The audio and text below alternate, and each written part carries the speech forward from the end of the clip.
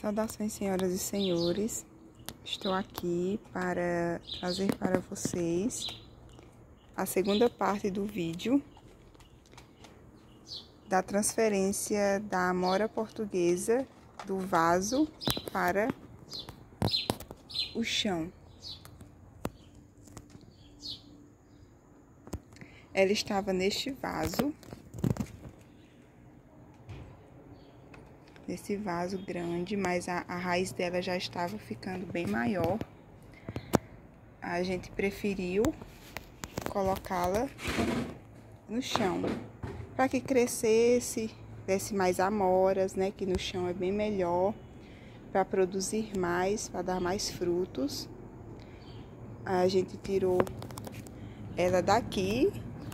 Esse é outro pé de amora. A gente tirou ela daqui deste vaso ela estava exatamente como esse pé que está aqui. Aí tiramos ela e passamos para o chão.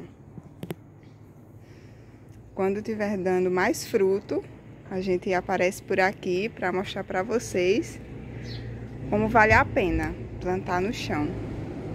E o gato já tá ali passeando na amora, no pé de amora. É desse jeito.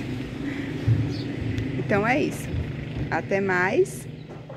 E se inscreva no canal da Horta Pura e Simples. Agradecemos a todos vocês pela atenção.